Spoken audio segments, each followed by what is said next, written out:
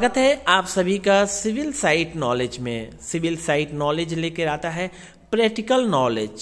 Site पे कैसे work होता है। एज पर ड्राइंग ड्राइंग के अकॉर्डिंग।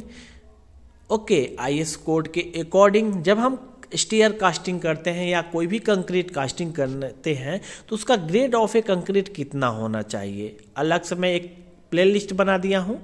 डिस्क्रिप्शन बॉक्स में लिंक दे दिया हूँ। आप जाकर देख सकते हैं। ओके, बहुत लोगों के साथ गलती किया जाता है कि सीमेंट ज़्यादा डाल दिया जाएगा या कम डाल दिया जाता है। एक्चुअल में क्या होना चाहिए? डिस्क्रिप्शन बॉक्स में लिंक है, आप जाकर देख सकते हैं। स्टील कैसे प्रोवाइड करें? अक्सर लोग गलती करते हैं और कितना M M dia bar steel provide करे स्टेयर में। आप देख रहे हैं as per drawing okay as per code code के अकॉर्डिंग कितना M M dia bar provide करना चाहिए। तो स्टेयर में जब कभी भी आप स्टील प्रोवाइड करें तो 12 एम mm से कम प्रोवाइड नहीं होना चाहिए।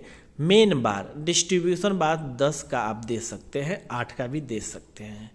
ओके तो इसके लिए मैं अलग से पूर्व वीडियो एक बनाया हूँ। स्टीयर में कैसे रेनफोर्समेंट प्लेस करते हैं। कंट्रैक्टर आपके साथ कहीं गलती तो नहीं कर रहा है?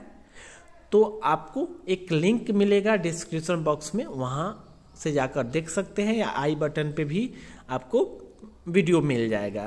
तो क्या सही तरीका होता है? सिविल साइट नॉलेज से अभी तक आपने नहीं सब्सक्राइब किया है तो प्लीज़ सब्सक्राइब कर दे। साथ में बेल आइकन को प्रेस करना ना भूलें। मिलते हैं नेक्स्ट वीडियो में।